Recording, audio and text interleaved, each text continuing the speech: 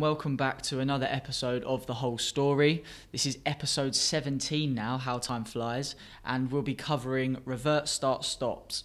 My name is Ben Garwood and I'm part of the business change team. And today I'm here with PO Paul Chandler. How you doing, Paul? Very well, very well. Should just be a quick one today, Ben. Uh, without further ado, let's uh, get into it. So, applications and works. I'm here as the promoter. Uh, yep, show filter options because we need a job that is uh, in progress and planned works.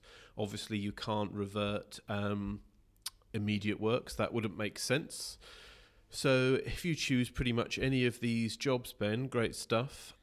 And for us to revert the start of a permit, we actually need to go into the works reference itself. Correct, correct. And if you scroll down a bit, with any luck, we'll find the option to revert work start. So re- you have to have a reason. So started in error, started wrong job, you know, whatever it might be. Great stuff. And if you go down, we're reviewing. Oh, I mean, literally, you can see there we now have a permit at the status of granted. So, and then if you just scroll down a touch, Ben, log work start is available to us again.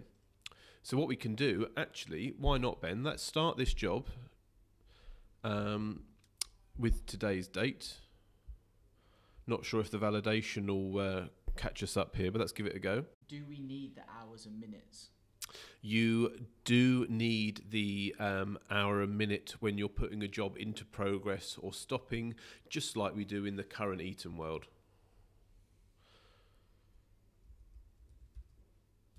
Goodness me. Oh, get me a time picker, eh?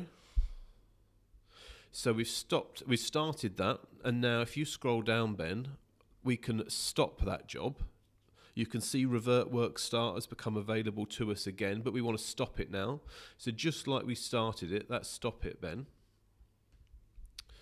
Uh, yeah, great stuff. Come on, Ben. We're showing off the validation here. You can't stop a job in the future. And also, I'm loving this, Ben. You have you can't start and stop a job at the exact same time. Ben trying to break the system here. We're doing this on purpose to show the functionality.